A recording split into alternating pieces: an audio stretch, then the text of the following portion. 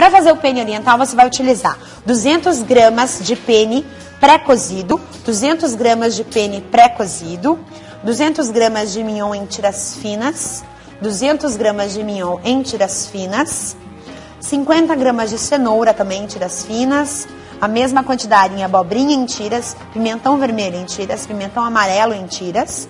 Depois disso, coentro picado, que dá um sabor muito especial. Uma colher de sopa de pasta de alho e gengibre, que a gente já vai entender o que é essa pasta. 50 ml de leite de coco, uma colher de sopa de óleo de gergelim, que é maravilhoso, e uma colher de sopa de molho de peixe, que também vamos entender como é que a gente vai fazer esse molho, e três colheres de shoyu. Muito simples, a maioria dos ingredientes o pessoal tem em casa, principalmente as verduras. Então vale a pena você. Daqui a pouquinho vou repetir a receita, tá certo? Tá aí os ingredientes na sua tela. E a receita vai estar no site após as 18 horas, no transamerica.tv.br. Vamos lá então, Alexandre? Vamos lá.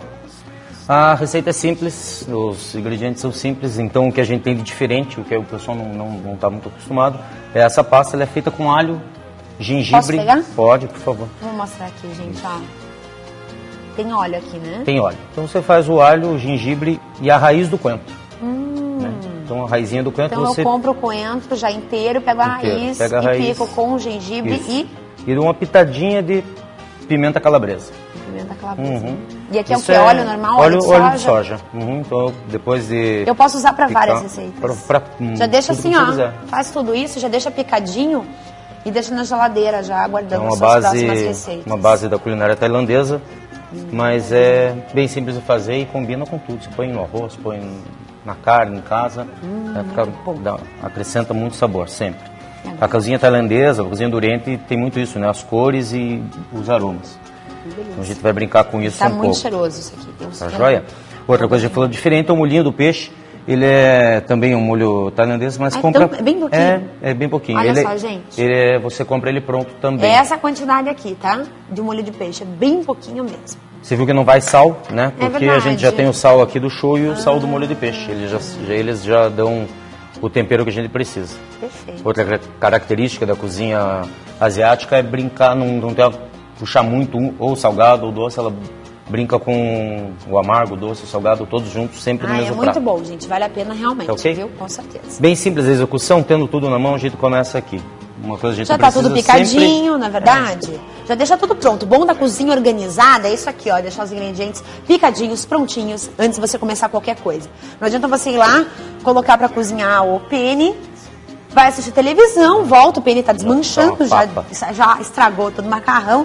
E daí que você vai pensar em começar a picar as coisas. Não faz isso não, deixa tudo prontinho já. Então, tudo na mão?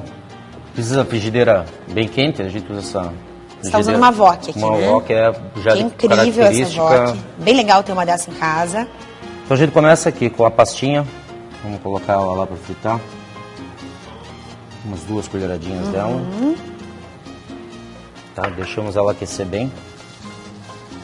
Começa a chiar e já Nossa. sobe o perfuminho. Muito cheiroso. Tem alho também, não, né? Tem alho. Tem alho. Então alho, gengibre, raiz do coentro e alho. Óleo. gengibre, raiz do coentro e também um pouquinho de azeite de soja. De óleo, óleo de soja. Yes. Certo. Tá aí, a gente pega a carne cortada em tiras, sem tempero, sem nada. Colocamos aqui. Que carne que é essa? Mignon. Mignon mesmo. Mignon em tiras, é mais macia. E daí deixamos ela, que ela dore bem aí. Não deixar ela secar muito para não ficar aquela carne durinha, sem, uhum.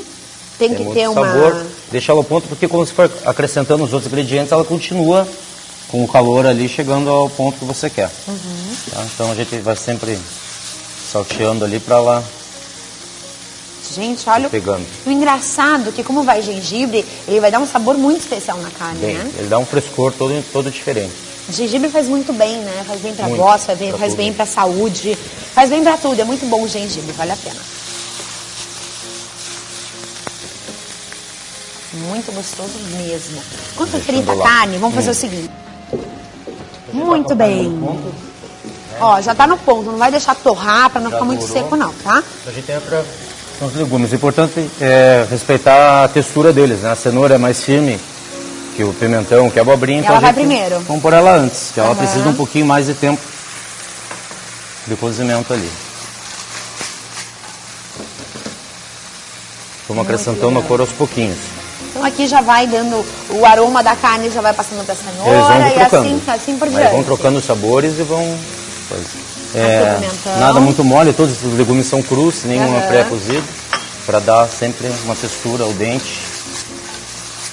Aqui ele acabou de colocar o pimentão, gente. Então, a gente pode entrar aqui com a abobrinha. Abobrinha também. Tudo isso muito saudável, né? Muito saudável. A gente estava vendo a bastante. entrevista no primeiro bloco. Pois é, viu? Tá bem os alimentos saudáveis, né? Aí, ó, comportamento magro é isso, é você comer é, alimentos que te saciem e que te façam bem. É um não bem simplesmente equilibrado, né? comer só pra se sentir saciado, aquela coisa que não digere não direito, na verdade. Tem que Sim. comer algo saboroso e gostoso que faça bem pro teu organismo. Isso é Leve. importante. Então, Ali o pene entrou. já tá pré-cozido. Já está pré-cozido. Já Você- O o pene normalmente você faz no restaurante fica al dente, né? sempre ao dente. Porque. A não A ser que o massa cliente tem que ser peça. assim, né? Não adianta a ser ser que aquela o cliente massa. peça, né? Assim como a carne, o cliente chega e pede o ponto que ele quer, a gente Uhum. sempre respeita, mas a massa a gente sempre sai com ela ao dente. Almoço, principalmente, a gente trabalha com buffet, então ele fica um tempinho lá. Se ele já sair muito cozido da, lá da cozinha, ele vai amolecer muito rápido Uhum. no salão. Certo. Então entramos com a massa agora. Agora vem o pene, gente, maravilhoso. Já vem aqui na receita, nesse momento aqui. Vai misturando ali. Enquanto a gente mistura, Alexandre, vamos passar o telefone e o endereço do restaurante para as pessoas conhecerem, saberem que tem esse. E tem outros pratos também deliciosos, né? Tem. Nós temos lá de segunda a sábado, a gente trabalha com almoço, buffet. Aos sábados a gente tem um serviço maior, é um brunch, então a gente começa com o serviço, algumas coisas de café da manhã, Nossa. vai me dando com o almoço. Posso ficar o dia lá, Passa então, o se dia. Tem muita família que vai e passa o dia no restaurante. A gente tem um jardim lá atrás, temos horta, tem rede, a criançada brinca no Uau! pátio. Então é bem gostoso. Quintana o é ambiente, incrível mesmo. é.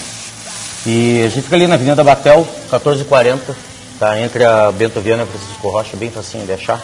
Perfeito. E o telefone de lá? Agora você me pegou aí. Não dá nada, não tem problema não. Tem problema. Né? A Gabriela tá aí amanhã, Gabriela vem amanhã, então tá. A Gabriela vai passar duas vezes. Ó, vamos entrar agora com os temperos. Primeiro, Vamos. o óleo de gergelim. Ele é forte, então temos que tomar cuidado com ele. Um pouquinho, não é muito Sempre um não. fiozinho. Óleo de gergelim incrível, também dá um sabor muito especial. pro Falando do restaurante, ainda a gente começou a abrir agora à noite, com a la carte, de quarta Ah, é? a sexta. O Bistrô Quintana começou a funcionar. Quinta-feira nós temos a, uma música ao vivo, jazz, bem gostoso. Nossa, que delícia. E Vamos fazer o seguinte, então, próxima vez, fora a, a- a Gabriela já vem amanhã, Uhum. próxima vez que vocês vierem, venham juntos e a gente faz o grupo de jazz pra fazer um som opa, pra gente. Pode ser? duplinha, pode ser. Fechou. Vou entrar com molhinho de peixe. Ele vai acrescentar bastante sabor. Hum.